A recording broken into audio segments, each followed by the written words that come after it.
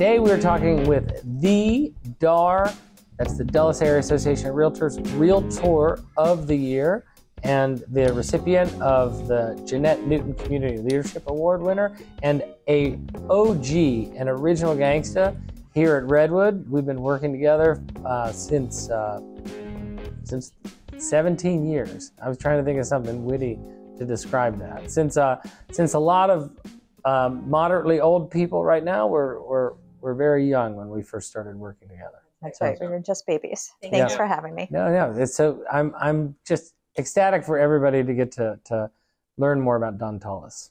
So I remember when you joined. It's been 17 years, and we were you were in that that first crop of agents that I felt like signified that we had really made it. We had just gone from an independent Redwood Realty to Century 21 Redwood Realty, and we really started exploding in Loudoun County, and you were a huge part of that.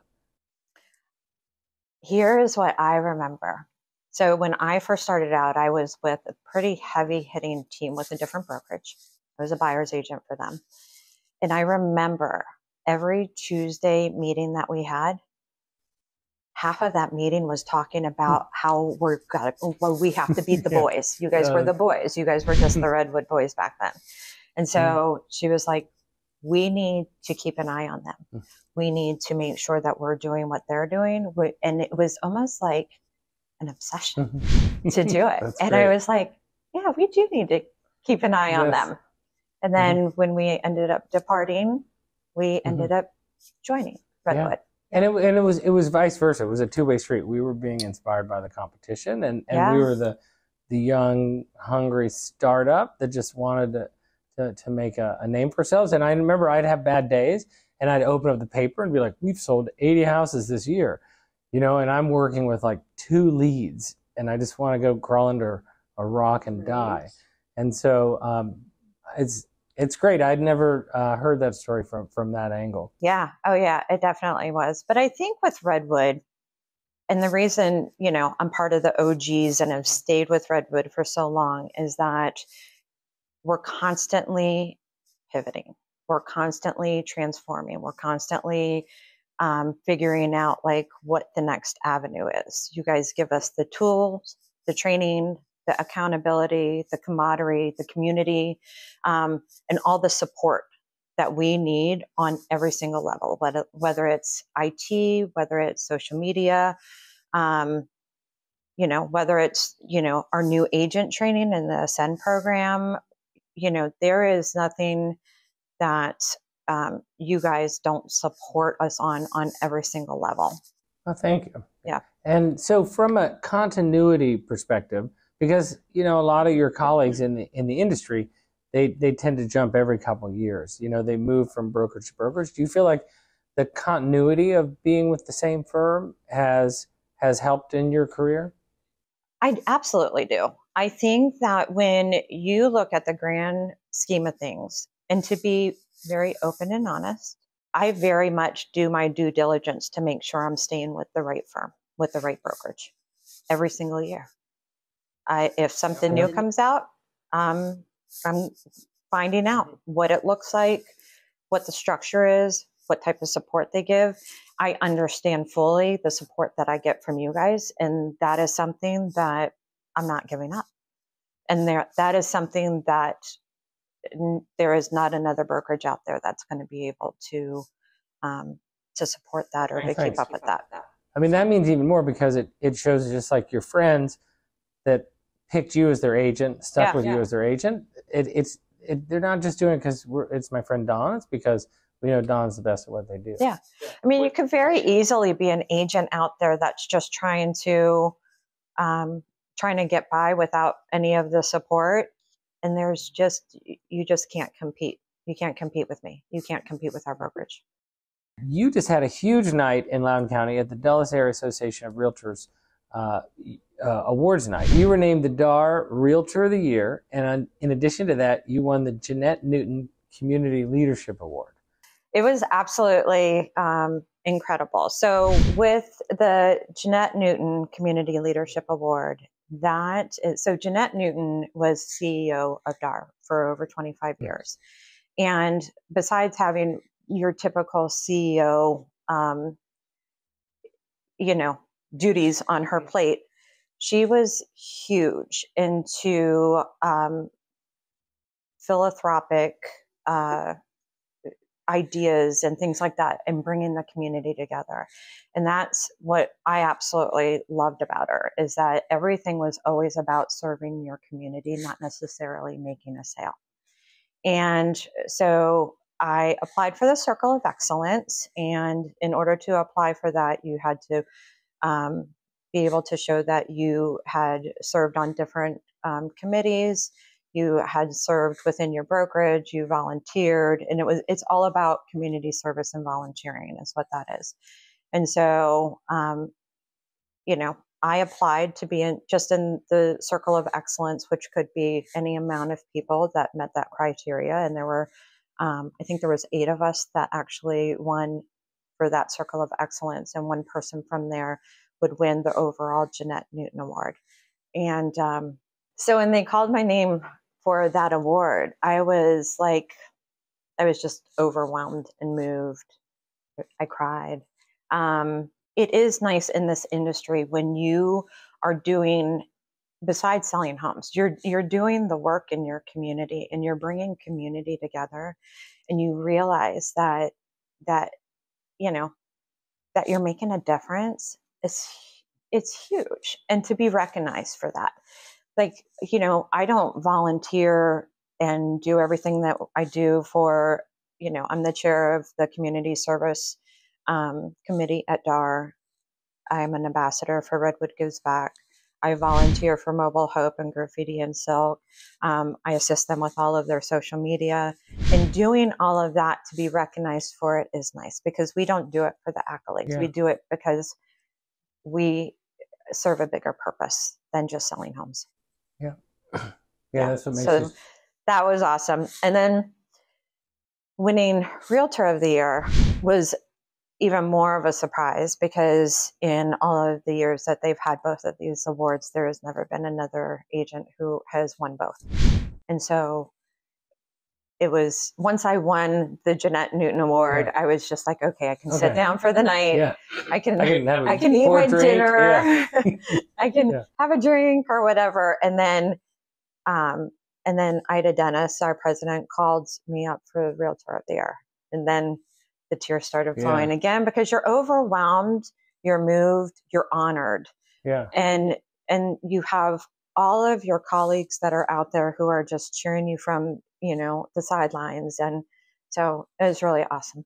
Yeah that's great. yeah, best well, night couldn't happen to a better person so thank you. congrats. Thanks. So that was that's that's really powerful. So you do the work because you you care deeply about the community that you've been in for 40 years but it also like let's face it people like working with local real estate agents who and they like working with people who care about their community. So how do you work your philanthropic uh, you know contributions to the community into your marketing?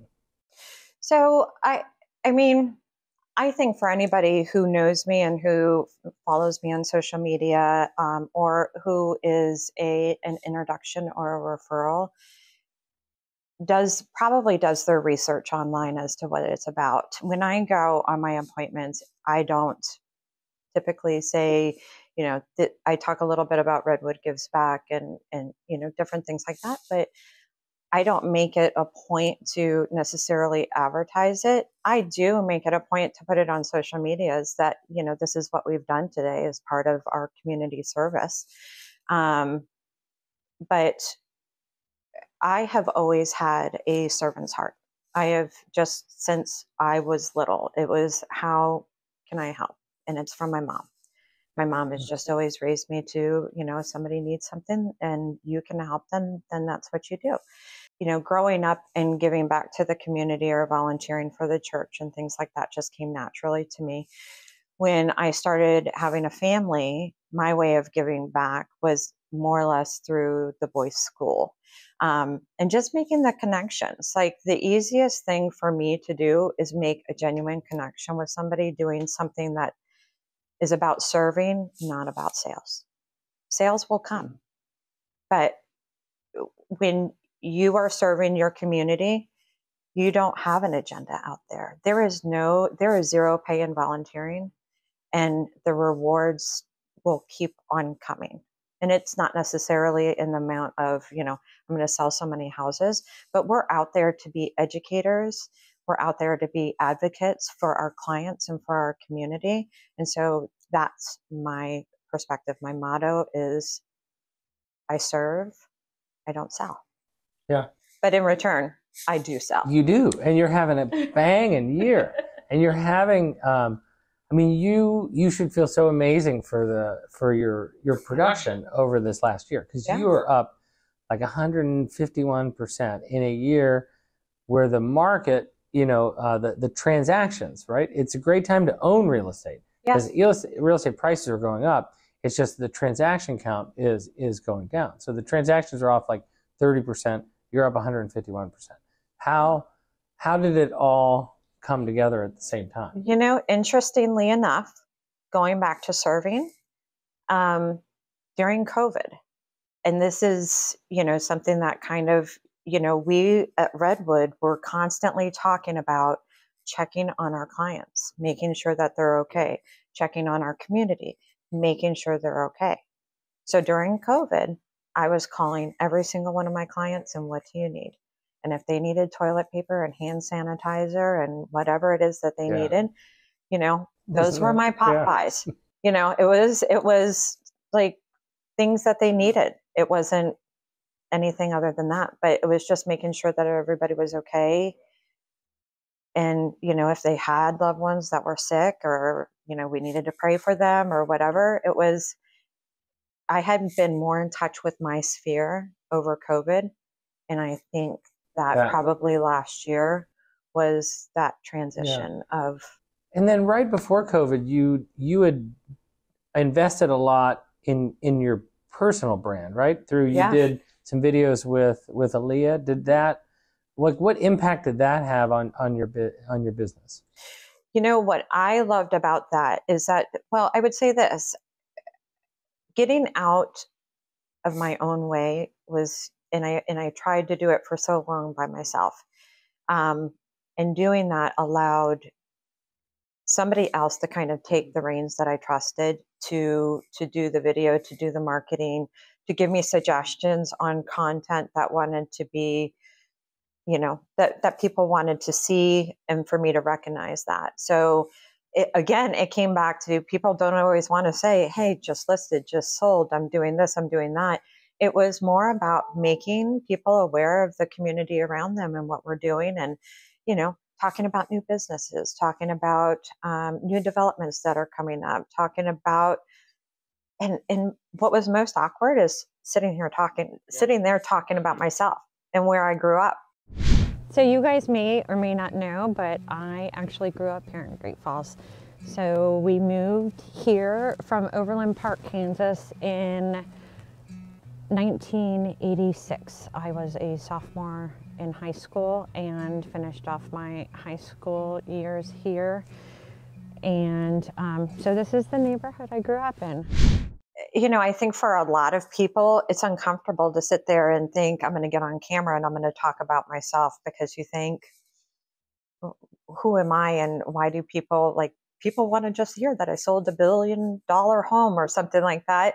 But I had the, the most interaction when I would talk about myself because then you understand like you're relatable and people can people understand oh yeah i went through that exact same circumstance you Yeah. know And and they're they're online. They're seeing you because they're they're researching you. They're they're deciding which agents do we want to call, and then the beautiful thing about video that I guess intuitively we all should have known, but it's still so cool when you experience it, is that you're walking into the living room, you're meeting them for the first time, but they feel like they've already met you. It's like, oh my gosh. and it's and it's it's such a simple conversation with them on how did you find me how did you hear about me um you know and and then they have already decided like how we are relatable and Yeah. they'll just it's it's a very natural conversation from there That's yeah right. So it's the combination. So the question is like, how can you grow your business 151? How can you be up 151 percent in a market like this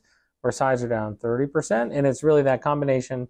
It's a, it's investment. It's investing in your business in the form of marketing. It's investing in your community in the form of, of giving back.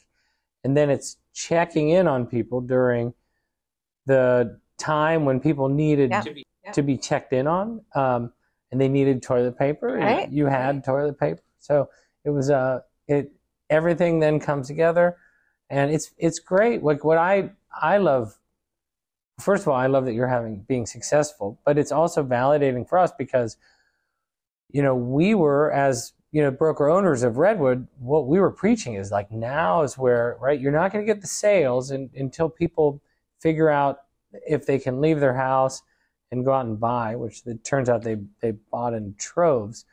Um, but it's now is the most important. It's, it is like, it was like, I remember March, April, May of COVID, when it first started, it was like, now is when like some people are going to show up. Some people are just, you know, going to just wallow into their couch. You know, some people Yeah. are just. gonna- That's what I call so- the Christmas, like during COVID, and even even after that, like when when it started becoming a little bit more challenging um, as far as buyers finding the home for them um, Eh, eh, for themselves with interest rates going up and everything. I think it's what I call that's when the Christmas help goes home. That's when the seasonal help comes home. They come in because they mm-hmm. think it's easy, they think it's good, Yeah. they think they know how to write a contract, they think mm-hmm. they know how to negotiate a contract or provide great marketing material or, you know, or or advise properly and then till they realize that it's actually a job to do and and there's a lot of complexities that go in with it. So Well, Christmas time is definitively over. so- Christmas time is gone. It is gone. it's February. It, the roads are full of ice. It is hailing, and uh, you need to work with with with the best. Um, wanted to touch real quick on on the value of working with someone on your on your brand to to to sort of get your stuff out because I know I've had prior to, to working with my team I've I've I would spend hours recording videos that turned out to completely suck and then I would show up hours later to meet up with my friends and they'd be like where were you you know and meanwhile I was just staring into a camera repeating the same thing um, getting demonstrably worse each time. My veins would get huge, you know, my face was just red. Um, and then I wind up going with the first take. Yeah. You know, a month later, I picked the first take and put it out. Yeah. there. Um, so I think it's it's just great that you you you worked with uh, somebody that's really really good to help the brand come out, and it feels like your brand is just natural to the point where you you don't where what you're doing is just sort of it's just part of your business. You don't need to be launching a new campaign here or there. It's just a, a continuation. So with the Marquis Group, I mean, we started off, um, we developed that group or made that group um, by having a bunch of other small teams come together who were servicing multiple areas. Um, the one thing that I have been true to is that I never want an agent that joins our team to feel like their branding is Marquis. The thing that I love about our team is most of our agents are well experienced, productive agents. What um, and we come together as almost our own little leadership council to to educate each other on how we can do it better in different markets. Like Mark and Corey, they are they work FISBOs expires. They they kill it in that area. Yeah. Um, for me, I work my sphere, and you know, with other people in in on our team, they are constantly bringing in new ideas on on how they've done something to market themselves that's really worked. And I think you really have to figure out what is more natural to you and what works for you. And I think that's Yeah. our team coming together and doing that.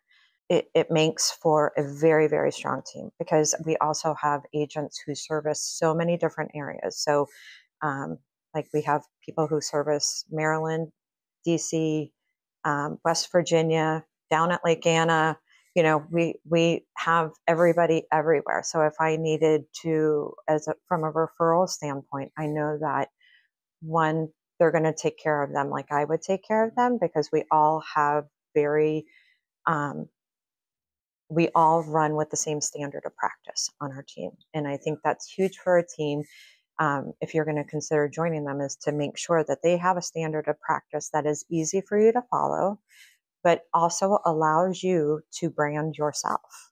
Yeah. You know, and I yeah. never wanted to take that away from it. When I first started in real estate, I was part of a team. Nobody knew who I was. For my first three years, I did an incredible amount of transactions, but nobody knew Tollus. They knew the team the team mm-hmm. person that yeah. it was named yeah, after, yeah. right? And so I, I never developed my own brand until yeah. I was away from that. And I said, when when I have a team, I, I want everybody to be able to brand themselves within the Marquis group. Yeah. yeah. That's great. And that so supports the vision that Sean, Nick, and I had when we started Redwood back in 2002. Because literally, our earliest conversations were, wouldn't it be great if we could be like this team? But rather than, but when people when their their careers develop and they want to go off on their own rather than leaving the team what if they could just stay with us? And it feels like you had the same vision and we're, we're able to do it together with redwood and and Marquis. Yeah. What was the name of your first team the polaris redwood? group. That's what it is. Yes i kept i remember that because you guys were team of the year um, i think our in probably 06 07 yeah, yeah we were yeah. team of the year and then um, we were when we were Marquis we were the number one team for years we were number four nationally and number 12 globally. When everybody started when the market crashed mm-hmm. everybody was like looking for an alternative. This and and i think it, it goes without saying anyone following the market this is very different right? Oh 07 08 09 were they that was bad for the homeowners and it was bad for people in the industry. Really, the challenges we're having today are limited only to the people in the industry. So the people we're servicing are all, granted, buying homes in with interest rates in the seven percent um, isn't fun when you're coming out of a decade of the four, three, four, five percent, sometimes even even twos. Um, but in terms of value, because the supply and demand, there's there's just such a short supply. Realtor.com uh, back in February said 7.2 million home shortage. Before that, we'd always debated is it a five or a six million uh, home shortage in the country. Realtor.com now says 7.2 million. So that points very squarely towards there are um, that, that, that prices will continue to to rise. Um, it's just that um, for us, helping people navigate this is just sort of trickier than ever. But I also think that, and I think I hear every single real estate agent say who you hire matters. Yeah. And that is so true. Because most of the houses that I sold weren't like last year when there was no inventory, weren't on the market. Oh, so yeah, this yeah. is where being involved in the community, being and and not necessarily being out there to make a sale, but understanding like you're getting ready to sell your home in September. Great, because I have you know buyers that might be interested in that, and then negotiating you know a deal that is not necessarily you know going in the MLS, mm-hmm. having to get it staged, having to be out of the house for a weekend and things like that. But it's being in the community and knowing what's going on and knowing you know what uh, what sellers are out there and and who might be interested in moving. And just asking the question to a lot of these sellers like how much would you have to sell your home for in order for you to move? Yeah. And i've gotten a couple of deals where people are like let's talk.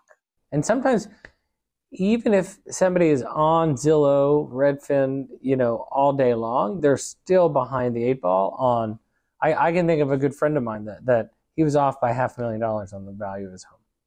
And he said to me, he says, I, I kind of think I could get this. And I was like, you can do far better than that. And then, you know, he sold his house. Yeah. yeah, yeah, Yeah. So, and I think that a lot of those, I mean, that's when you really have to, you have to understand like Zillow, Realtor.com, um, or Realtor.com. Just Realtor.com. caught myself saying that. Oh my gosh. Yeah. Um, but you know, they do not take into account homes that were maybe not sold on the MLS. I Mhm. mean, Yeah. you really have Yeah. to dig into public records and, and come up with comps. There have been appraisals that have come in super low, and it's, you know, and, you know, I explained to them that, listen, sorry, the listing agent didn't put it together an appraisal package, but here's an appraisal package. And it does show that there are three homes in this community that were sold um, that were never listed in the MLS because that's just as far as people go as far as the research goes. A lot of agents, that's just what they do. They're just going to, you know, search the MLS and they don't extend beyond that to give accurate data. Yep. That's it all comes down to being local. And that's the Yeah. benefit you get when you work with an agent who's been in the same county for 40 years. So let's let's talk about Loudoun County. Uh, so when we first started working together, Loudoun County had, I believe, five high schools, which was up from one or two. When I first moved here in '98, I believe Loudoun County had three high schools. Yeah. So five, last count, 18 high schools. That is Gosh. an insane amount of growth. Can, Yeah. Considering I grew up in Pittsburgh, where they were literally closing schools every single year when I was a kid. So, what is it like to like spend your life in such a in, in a county where everybody's moving to? Yeah, it's interesting. So I lived in Loudoun County for 40 years. I moved here in high school. So that'll kind of age me a little bit. Um, but it has been it has been amazing to see it grow. Um, you know, I I love that it has grown. Um, I think what's really important and what Loudoun County has done well is that they have put in the infrastructure before they started building these planned communities, Mhm. meaning that they they had a plan for how all of Ashburn was primarily going to look, and they put in the roads and they put in the transit systems and they put in the the shop. They knew where the shopping areas were going to be and things like that. Well before they said, let's have a developer now sell to um, these builders and build homes around it. And so I have enjoyed seeing the growth of Loudoun County. Um, I know that one of, I think, the smartest things they did, at least out in Western Loudoun, is they put the smart growth in place because we were growing so fast um, that it could have really been, you know, a different situation because you pretty much have, you know, Route 7 that goes out Western Loudoun, and unless they were going to put in a lot of other infrastructure out there. So I do like that you know, as far as Loudoun County goes, you are an hour or two away from lakes, from mountains, from cities, from suburbs. And I think Loudoun County, you have a lot of different people living different lifestyles. And I think it's perfect no matter what lifestyle you want, whether you want to be on 50 acres, whether you want to be, you know, at one Loudoun, you know, living in a four story townhouse with an elevator and, and wanting that cityscape lifestyle. So I have loved to see the growth. Is there anything you miss about old Loudoun County? Oh, There's always something. there's always something. You know, I like I went to high school there. I still saw houses in like Sterling and things like that. Um, I lived in Great Falls Forest, so it was, you know, I kind of miss that. I I miss that people were just more of a community, more so than being on a Facebook community or on a social media community. I feel like people define communities different now. Yeah. And so that's what I miss. So Parkview or Broad Run? Parkview. Okay. So I remember when shortly after I moved to Loudoun County, and Sean was like so proud of this, there was a sign, and he said, This is when Loudoun County had made it. There was a sign on Algonkian when you were leaving, right, right around the border of Fairfax County and Loudoun County, and the sign said Loudoun County Schools. And he was like, for the first time, people were bragging like you're now entering you know, a zone where your kids will go to Loudoun County School. And so he felt like that was like, this was late 90s, early 2000s when Loudoun got the recognition that he felt like as a Loudoun County kid. Yeah, yeah, that's when you know you made it, and when they're they're like Loudoun County Schools. So, Dawn, tell me about your favorite buyer story. So it's funny. In 23 years of being in real estate, my favorite buyer story is going on right now. So I have um, clients of mine who have been personal friends f- with me for probably I don't know 20 years. Our kids grew up together. Um, you know, we've just gone through life's ups and downs together. Her and her husband are now buying a house, and they wanted to do a custom build. So we were out looking at the land that this custom builder had available to build on their lots, um, and we found one in Leesburg. And it was a ta- there were two lots, and they're tandem. So the front lot was an acre, the back lot was uh, was a little over two acres, and there was about a two hundred and fifty thousand dollar price difference just because of the amount of land that you got. So they ended up writing a contract on the one acre lot and it had already been perked or had already been certified by the county to be able to be perked they um, we wrote the contract uh, they went back out there again after it had had rained for some time to just uh, do a feasibility study make sure that where they were going to put you know the drain field and different things like that make sure that that was still going to be the proposed area when they got out there on that one acre lot, they realized that that lot they weren't going to put any type of drain fields on. Um, they couldn't even extend the res- the reserve drain field onto the other lot. Um, so they came back to us and said, "Hey, listen, I know you guys want this one acre lot that's like nice and flat," and they said, "But we can't build on it. So would you guys consider moving to the two acre lot?" And at that time, you know, it put them out at their price point. They were like, no, we really want the one acre lot. You know, um, especially if it's at that price point, we're not gonna we're not gonna be able to do it. So then they came back to us and said, um, what if we can do it at the price point? So we kept the same price point, um, which was two hundred and fifty thousand less, and moved to a two acre lot for that same amount. Yeah. Um, so my clients were just ecstatic about it. Now the builder then came back and wanted to try and sell us the one acre lot, even though it wasn't buildable for um, like a habitable property, you could still use it to put a garage or as long as it wasn't like an actual um, dwelling, you could put a carport, you could put a driveway, you could put whatever basketball court, whatever it Yeah. is that you wanted on it Can't use you sewage. can't like use anything on Yeah. it, right?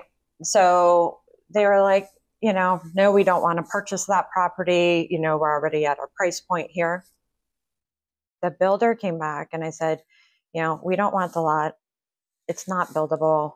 Um, you know, if you're wanting to gift it to us, then absolutely we'll do it. And never in a million years did I think that, you know, they would do that ultimately we went back and forth with negotiating a little bit they did try and sell it to us but at the end of the day we just signed the contract about a week ago and they're gifting us Sweet. that one acre so we went from Yeah. a one acre lot to now three over three acres Yeah. with them being able to build their dream home so That's i'm like never in a million years do you come across a builder who's willing to just say okay we're going to give you both lots and build the home that you wanted on the smaller lot for the same price so That's my clients great. are very very happy That's good. yeah, Yeah. so because- cool And working with friends is isn't always easy. So Yeah. you tend to internalize issues so much. So right and i think they have also you know they're a little bit more nervous they have that higher expectation on making sure that you're doing the due diligence and you're not just being you know their friend